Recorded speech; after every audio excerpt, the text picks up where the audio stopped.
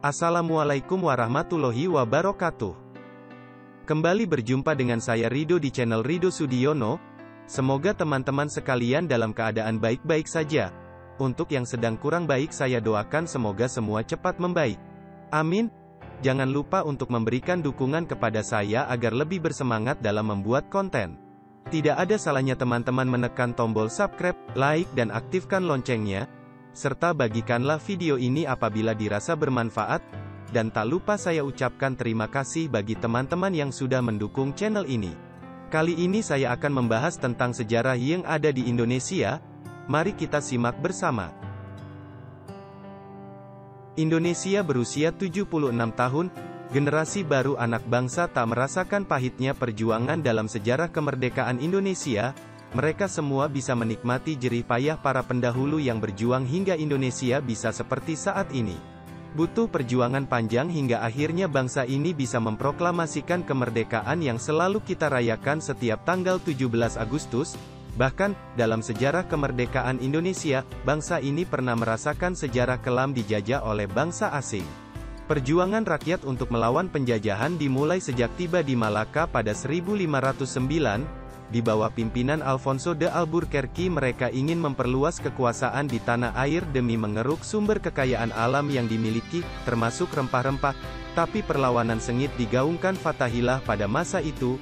Setelah bertahun-tahun berjuang melawan Portugis, banyak negara mencoba mengambil alih kekuasaan di Indonesia, dipimpin Cornelis de Houtman, Belanda akhirnya bisa masuk pertama kali ke Indonesia melalui Banten. Mereka memiliki tujuan yang sama, yakni ingin menguasai rempah-rempah. Singkat cerita, perjuangan pun terus dilanjutkan dalam melawan penjajahan. Mereka terus tanpa henti melakukan perlawanan untuk bisa merdeka, hingga perjuangan mereka pun akhirnya menuai hasil. Banyak peristiwa penting yang terjadi dalam perjuangan hingga bisa memproklamasikan kemerdekaan.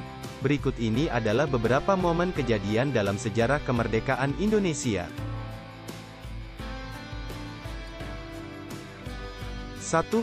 Masa pendudukan Belanda hingga Jepang dalam sejarah kemerdekaan Indonesia, tercatat Belanda mendirikan Verenigde Oostindische Company atau disingkat, VOC, yaitu kongsi dagang Hindia Timur Belanda yang memiliki hak istimewa di Indonesia dalam urusan perdagangan, mereka berhasil memonopoli perdagangan Indonesia, melakukan penindasan, sampai pemerasan kepada rakyat.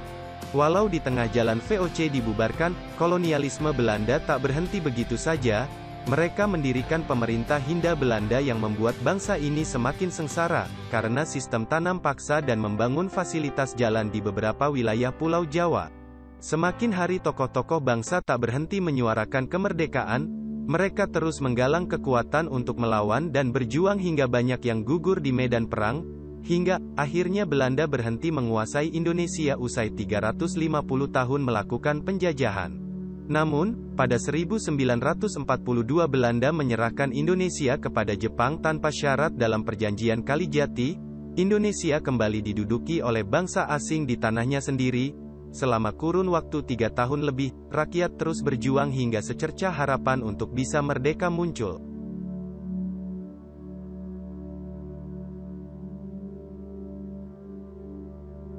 Dua, Jepang menyerah dari sekutu usai kalah di Perang Pasifik.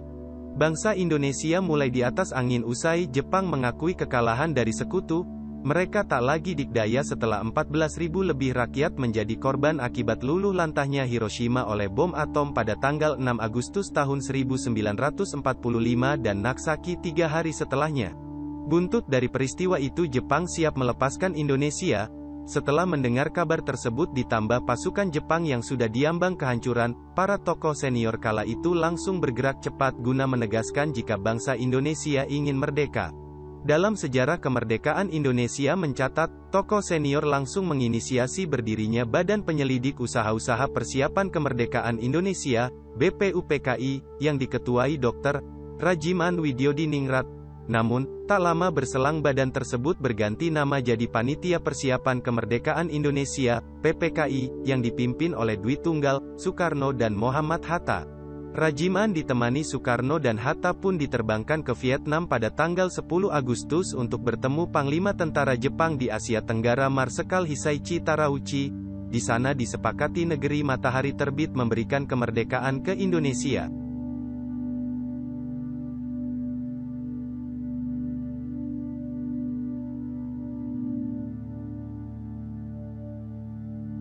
Tiga, penculikan Soekarno dan Hatta ke Rengas Dengklok.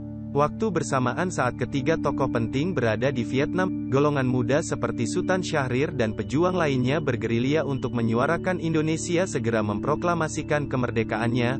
Mereka tak mau mengikuti hasil pertemuan pimpinan PPKI di Vietnam, karena tak mau menganggap kemerdekaan itu hadiah dari Jepang. Sultan Syahrir dan rekan-rekannya seperti Wikana, Sukarni, Hairul Saleh, D. N. Aidit, sampai Subadio menemui Dwi Tunggal yang baru pulang dari Vietnam untuk mendesak mereka segera memproklamasikan kemerdekaan. Namun, Soekarno dan Hatta tak mau mengikutinya, karena mempercepat hal itu berisiko bisa menimbulkan pertumpahan darah, terlebih mereka belum yakin Jepang sudah menyerah.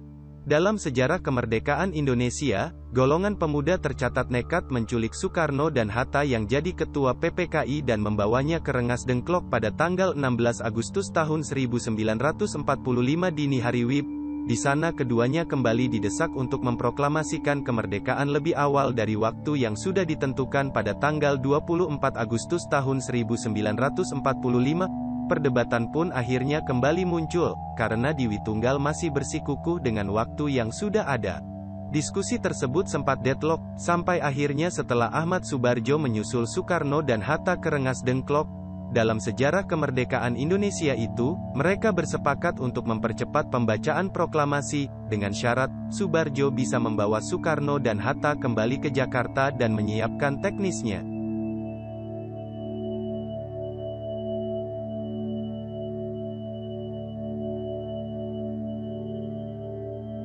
4. Persiapan dan perumusan teks proklamasi.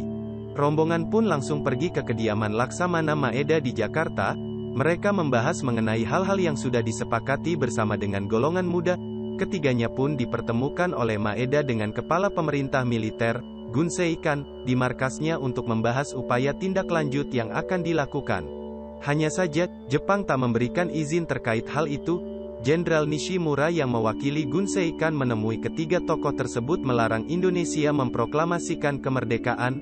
Mereka diminta tetap menjalankan semuanya seperti rencana awal dan tak mau ada perubahan status quo sambil menunggu kedatangan sekutu.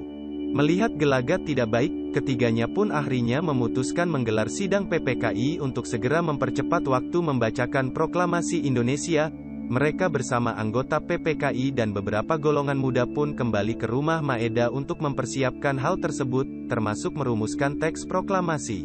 Dalam sejarah kemerdekaan Indonesia, perumusan teks proklamasi dilakukan oleh Soekarno, Hatta, dan Subarjo secara bersama-sama, serta disaksikan beberapa golongan muda seperti Soekarni, Sudiro dan BM Diah, Hingga akhirnya konsep yang dibuat pun selesai, dan Sayuti Melik langsung mengetik naskah yang siap dibacakan pada tanggal 17 Agustus tahun 1945 itu.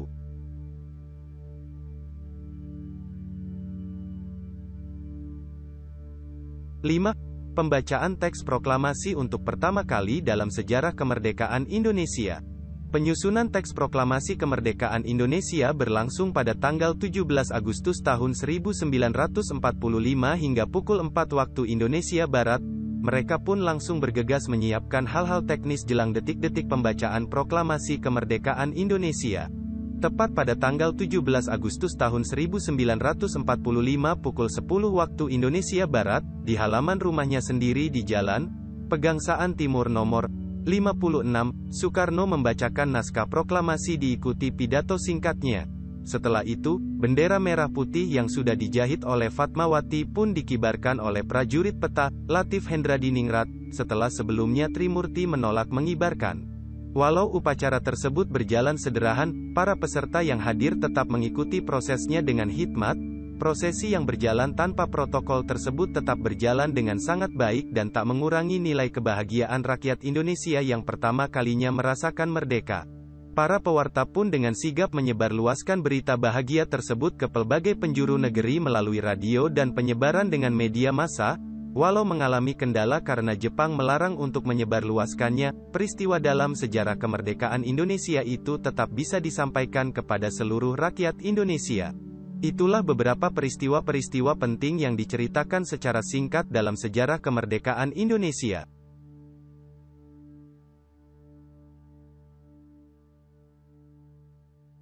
Semoga kisah atau cerita sejarah ini bermanfaat bagi generasi penerus bangsa. Dan untuk yang sudah menonton video ini saya ucapkan terima kasih.